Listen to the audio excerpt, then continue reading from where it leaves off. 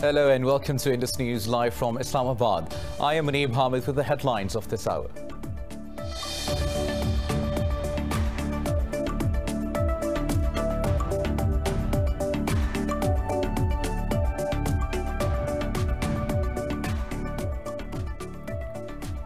Indian troops have martyred three more Kashmiris, raising the toll to 10 in the last 48 hours.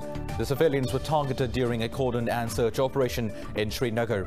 Meanwhile, the occupation forces have fired pellet guns and tear gas to disperse Kashmiris participating in a Muharram procession, injuring dozens.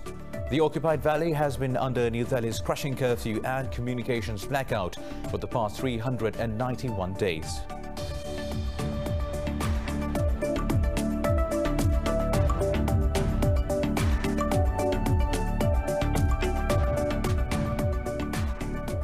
Afghan political leader Gulbuddin Hekmatyar says India is supporting the Afghan government to sabotage the Afghan peace process. Delivering a prayer sermon, Hekmatyar said Indian militants are forming militia groups in the northern parts of Afghanistan. The Hizb-e-Islami leader said India opposes the peace process due to New Delhi's rivalry with Pakistan.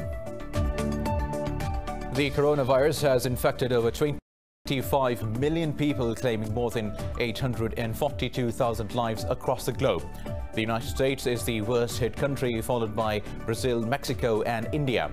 India's caseload has exceeded 3.5 million after it registered nearly 79,000 infections overnight, the world's highest single-day surge so far. Meanwhile, in Pakistan, four people have lost their lives to the virus overnight, taking toll to 6,288 with over 295,000 cases. Well, that's all for now. For the latest update, you can follow us on social media at Indus North News. Take care.